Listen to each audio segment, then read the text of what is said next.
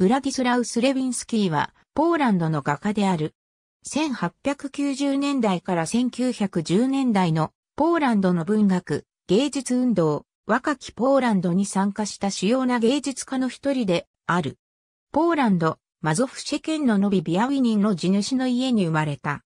いとこである画家のユゼフ・ヘウモニスキがスレビンスキーの美術の才能を見出し、ボイジェフ・ゲルソンの美術学校に進ませるように父親に進めた。はじめ反対した父親もそれに従った。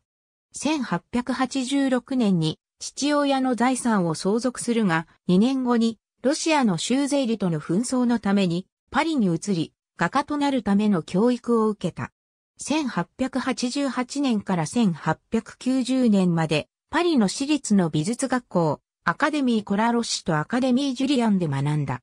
1889年にポール・ゴーギャンと知り合い、ブルターニュのポンタバン近傍の港町、ルプリュドで活動し、ポンタバン派の画家の一人となった。1895年と1896年にアンデパンダン店に出展した。1905年にポーランドに帰国し、しばらくワルシャワの美術学校の教授を務めた。ポーランドの文学、芸術運動、若きポーランドに参加して、ポーランドの前衛芸術に影響を与えた。1910年に再びフランスに移り、パリで没した。ありがとうございます。